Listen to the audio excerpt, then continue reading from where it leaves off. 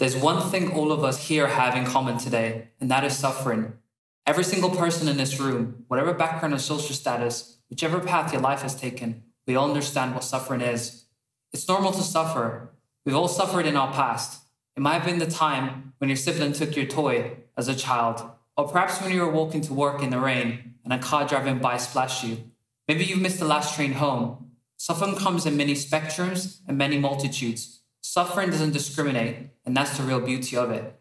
In embracing my own suffering, if I had the opportunity to go back in time, I wouldn't change it. I wouldn't do anything about it.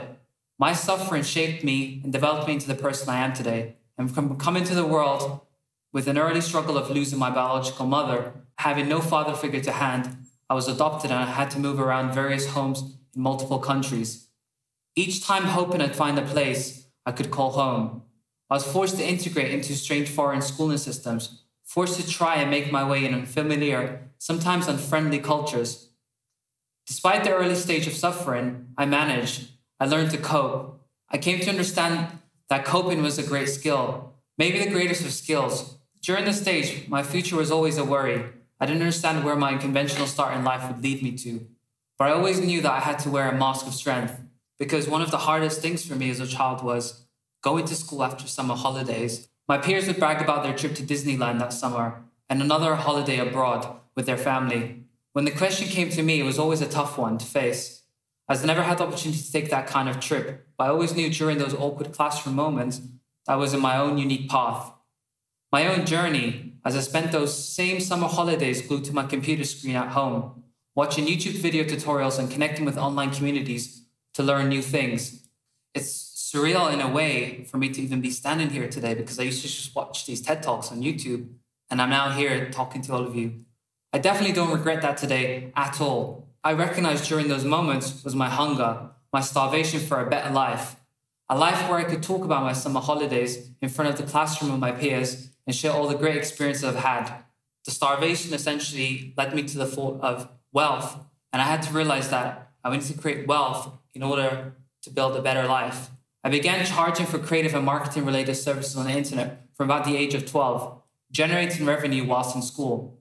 I used to also get in trouble after coming back home from school for being on the internet for too long and the Wi Fi would get turned off at home. I'm sure I wouldn't go back in time now and, and change that because it made me who I am today. During this stage, I recognized I became a brand, a walk in business. I would have to differentiate myself in the way I do things. This meant more suffering and sacrifices. But fast forward to today, here I stand, age 22, traveling the world at my own expense, working with the world's largest brands by giving my judgment on current and future products of their ecosystems, and even supporting them with new innovative content formats, new methods they can target their relevant audiences and communities in the digital space. I've helped generate these brands as much as seven figures in revenue. A recent example is a sports media company I've helped set up with a friend I met across the internet when I was around age 14. Together, we've been able to grow a sports media brand with hundreds of thousands of subscribers globally and tens of millions of monthly views. It's been eyed up by some of the largest shark tanks in the sports business world. But it's a funny story because they never really understand what we do and how we do it, because to them, it just seems like a bunch of kids on the internet. And despite that, I'm now in a space where I'm creating my own path and shaping new paradigms in the industry. Without suffering, none of this would have been possible. And I had to recognize early on that I had to I stood out, that I didn't fit in, but through the grace of God and the universe, I've been able to channel my struggles into success. But there's still so much more to achieve. Because when you're running a business, the moment you stop evolving is the moment you go extinct. Through all these experiences, I've come to realize taking care of myself happened to be the same as if I was building a business or a brand. In businesses and life, it's all about relationships. Being partners in a business still kind of being a partner in a relationship. This is the same principle I've come to recognize with life and the art of taking responsibility.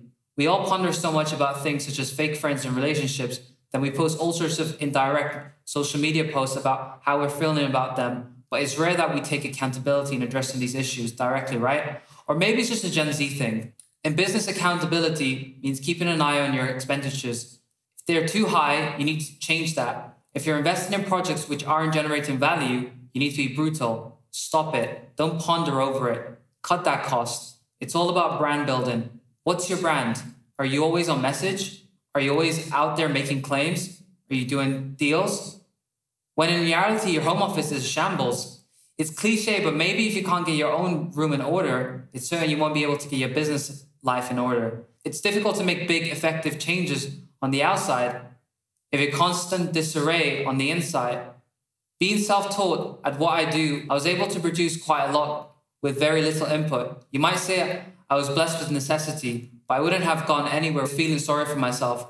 I think the conversations we're having right now about mental health in society are great. We've come to normalize terms such as it's okay not to be okay. However, what we fail to recognize is that there is no accountability within that term. And that's where we need to take responsibility and encourage others to take action. Those who struggle are in their own way blessed. It strikes me time and again that the most troubled individuals are those who go out to make history. Sure, you can talk about the likes of Malcolm X and Muhammad Ali, but I'm also talking about every unsung soul out there coping with unfilmable hardship, but always rising above it. Never letting their smile falter, never letting their mask slip, which is similar to the example of the business owner who got struck by the consequences of the pandemic and had to adjust their methods of operating their business when waves struck and they never ran away.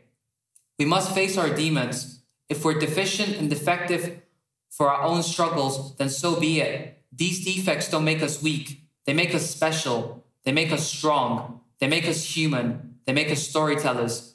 We're all individual living brands of our own. One of my first businesses about age 18 was a huge flop. I had high hopes for it. It was a little cafe in the middle of Cardiff, next to the castle. And yes, I've not always just been a digital entrepreneur. Sometimes you have to get your hands dirty in, real, in real life.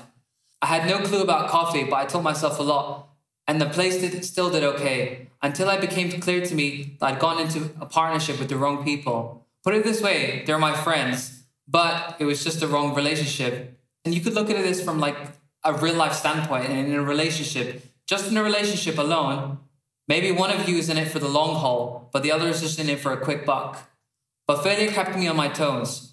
I've never gotten comfortable in my life or in my business ventures. Accountability kept me clear eyed clear-eyed enough to know when it was time to shut shop.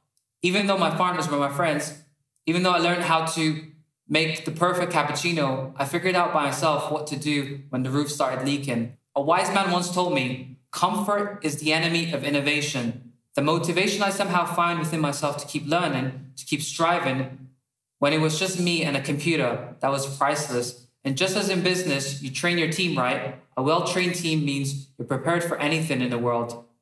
A well trained mind is pretty much the same. You just have to take the first step yourself and start taking accountability. Embrace your struggles. Success is a slippery concept. Many of the most interesting people I've met aren't doing conventionally associate, associated with success jobs. Scrubbing floors, cleaning toilets, and this justifies why some of the wisest people are sweeping our streets. A lot of people who have conventional backgrounds or wealth have had the wrong mindset. Maybe they didn't give anything back, or they're not taking care of their inner life. Maybe that's simple as their diet or the way they carry themselves. I often think to myself, a dose of necessity might do well for some of these people to bring it all together. I'd say real wisdom is about learning to love the process, the process of doing business, the process of life.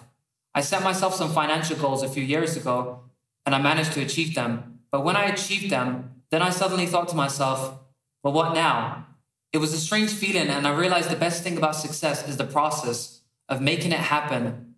Like in business, like in life, things won't always go well. You'll suffer again, but that suffering could go well, be the springboard you needed all along. I'm Zack Ahmed, and thank you for listening to my talk.